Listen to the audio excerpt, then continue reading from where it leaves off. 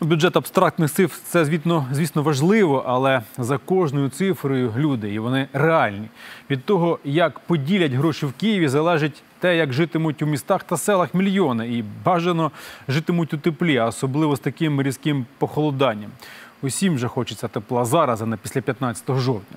У Нетішині, це Хмельницька область, міський голова сказав, що вже від завтра подаватимуть тепло у садочки, школи та лікарню. Загалом кожне місто, кожна громада сама визначає, коли починати опалювальний сезон.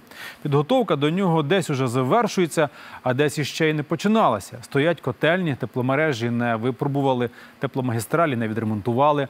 Дивлячись на це, простий люд зиркає на платіжки, які навіть улітку було страшно відкривати, і прикидає, а стільки ж обійдеться цю зиму перебути. Ситуацію в регіонах досліджували наші кореспонденти.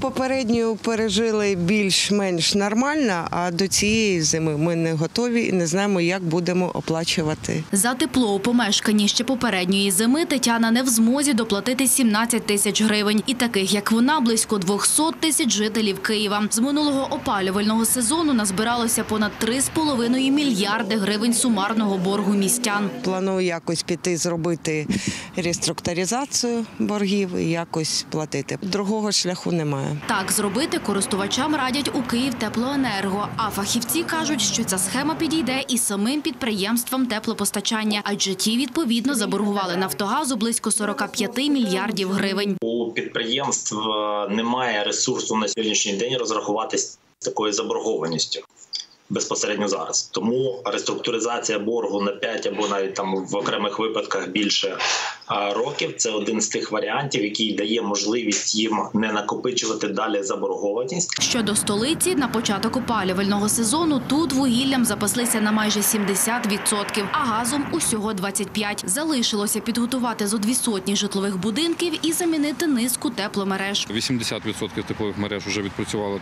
нормативний термін експлуатації і, на жаль, стаються пошкодження. І ми вимушені е, підтримувати в робочому стані теплові мережі якраз шляхом усунення цих пошкоджень. Ось цей трубопровід живив теплом дві школи і понад два десятки житлових будинків. За 60 років він зносився і тому часто траплялися аварії. У липні трубу вирішили замінити. Тепер комунальники намагаються встигнути до початку опалювального сезону. Закриваємо розкопку.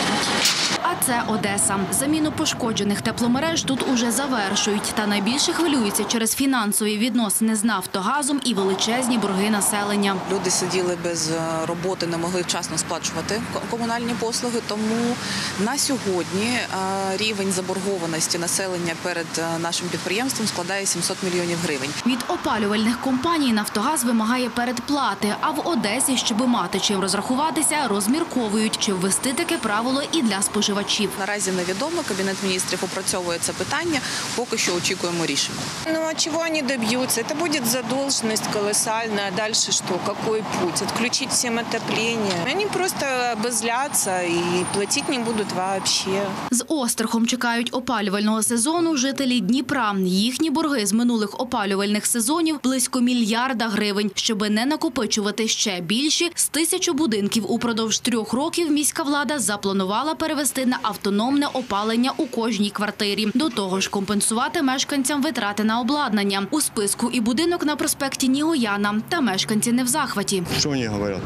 Ну, надо, чтобы вы за свои деньги это все поставили. А где взять ее? Что мы пенсионеры? Что мы получаем? Три с половиной тысяч, а надо 20-40 тысяч заплатить. Где такие деньги? Во-первых, дом у нас старый, у нас электросети не выдержат, если не сделать электроотопление. Міські чиновники запевняють, аж поки у помешканнях не з'явиться альтернативне опалення, ніхто від централізованого відрубати їх не буде.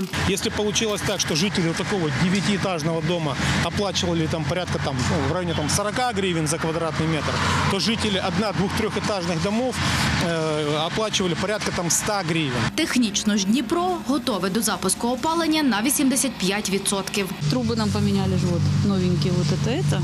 ждем, что у нас будет все хорошо. Тим часом міські голови п'яти міст, зокрема Івано-Франківська та Хмельницького, заявили опалювальний сезон на межі зриву. Адже для бюджетних установ ціна на газ цього опалювального сезону зросте втричі – із 7 до 20 гривень за куб. А місцеві бюджети не подужають. У Мінрегіоні відповіли, для тих, хто уклав договір із «Нафтогазом», ціна на опалення і газ змінитися не має, адже компанія запропонувала ціни нижче за ринкові – 7 гривень 96 копійок для побутових споживачів і 7 гривень 42 копійки для теплокомуненерго. НАК Нафтогазом не визначено чітко цільова категорія це населення. Це є там певні технічні е, проблеми з встановленням тарифу. Це змушує підприємства міксувати тариф, е, який передбачений якби теоретично для населення 7,40 з тим тарифом, який йде по обсягу 2 в цих договорах. В них уже на жовтень місяць пропонується газ з вартістю 20 з копійками гривень. Асоціація міст закликала уряд компенсувати гроші, які місцеві бюджети додатково витратять на опалювальний сезон. Лідія Середюк, Наталія Світлова, Ольга Дунська та Едвард Белінський. П'ятий канал.